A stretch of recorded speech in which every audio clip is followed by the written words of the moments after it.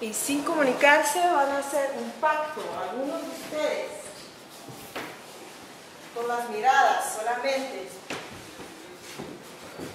Algunos hacen un pacto y uno tiene la atención y no lo quiera. Con la misma intención siempre.